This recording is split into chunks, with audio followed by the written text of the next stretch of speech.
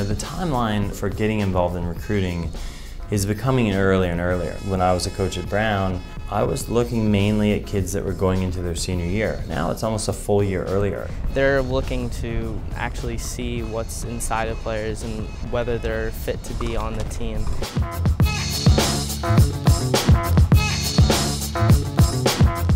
So the coaches panel basically gave me an idea on sort of what to expect from college tennis. First, they kind of explain what I should how I should go about contacting coaches of schools I'm interested in. You know, there aren't many college coaches that are going to just take a player if they haven't seen them in person or at least on a video. Every player that's on a college team is a major investment. We love getting to watch recruits in person. You get to see more of how they carry themselves on the court, how they bounce back from points that they may have lost. You get to see them perform under pressure. If it's close, you get to see them compete. So that, that's a lot more beneficial than any video. Like for one, I didn't know it would be so nerve-wracking to have college coaches watching you while you play. So that pressure was something I had to deal with.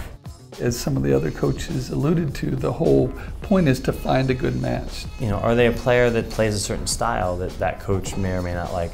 Are they a player that they that that coach thinks, wow, that player has a tremendous upside, tremendous potential? I'll consult with players all the time about, you know, if your if your tennis is very good and you're looking at some of the top academic schools, I mean, your tennis talent could be worth two, three hundred SAT points. So I think college really gives you a great opportunity to continue playing tennis at a high level, obviously to get an education, which is hugely important as well, uh, but to be in an atmosphere that's conducive to learning more and improving as a player and as a person.